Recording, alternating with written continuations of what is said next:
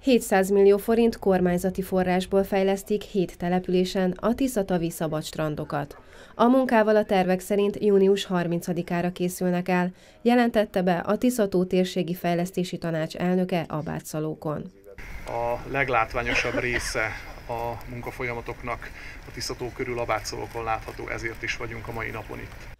Szabó Zsolt országgyűlési képviselő a keddi sajtótájékoztatón elmondta, a következő időszakban tíz nagy fejlesztési csomag indul el. Ezek egyiket a szabadvízű strandoknak a fejlesztése. Hét ilyen van a Tiszató körül. Most éppen a Betszalókon vagyunk, velünk szemben a másik oldalon Kisköre, és ezeket a strandokat fogjuk fejleszteni. A program célja, hogy 2030-ig az összes szabastrand megújuljon. Idén 5 milliárd forintot költenek a vízparti strandokra, partszakaszokra, zöld felületekre, valamint öltözőkre és vizes blokkokra is.